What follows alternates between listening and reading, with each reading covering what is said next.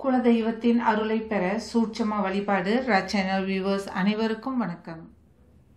குலதெய்வம்னு நாம் யாரை சொல்கிறோம் ஆமாங்க நம்ம முன்னோர்கள் அப்புறம் அவங்களோட முன்னோர்கள் வணங்கி வந்த தெய்வத்தை தான் இப்போ நாம் நம்மோட குலதெய்வம்னு சொல்கிறோம் அதுலேயும் சில பேருக்கு குலதெய்வம் யாருன்னு தெரியாமலேயே இருக்காங்க.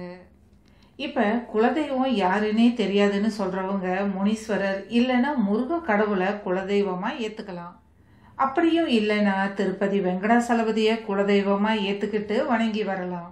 உண்மையிலேயே குலதெய்வம் யாருன்னே தெரியாதுன்னு சொல்கிறவங்க இந்த மூன்று தெய்வங்களில் யாராவது ஒருத்தரை உங்கள் குலதெய்வமாக நினச்சி வழிபட ஆரம்பிக்கலாம். அடுத்து ஜோதிட ரீதியாகவும் நம்ம குலதெய்வம் யாருன்னு நாம் கண்டுபிடிக்கலாம்.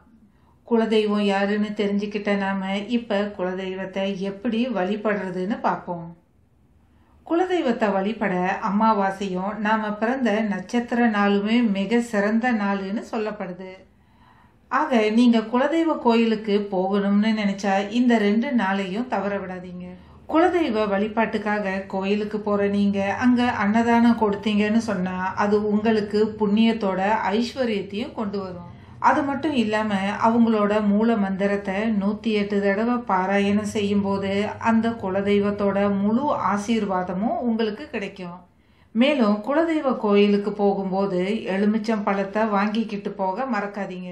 அதுவும் நீங்கள் வாங்கிக்கிட்டு போகிற எலுமிச்சம் பழம் ஒற்றைப்படையில தான் இருக்கணும்.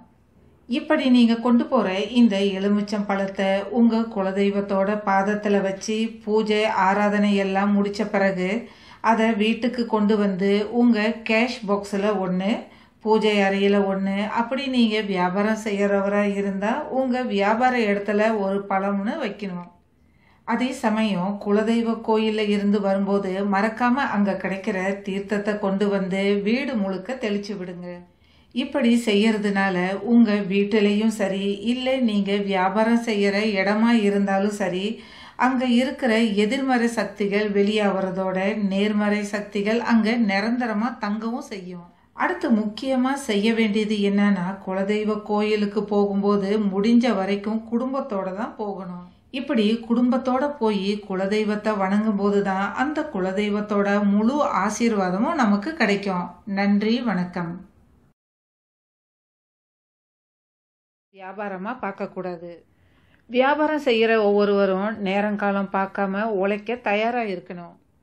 ஒரு வாடிக்கையாளர் நம்ம தேடி வராங்கன்னா அது அவங்களுக்கான தேவைகளை பூர்த்தி செய்யறதுக்கே தானே ஒழிய நம்ம தேவைகளை பூர்த்தி செய்யறதுக்கு இல்லை. இதை முதல்ல நாம் நல்லா தெரிஞ்சுக்கணும்.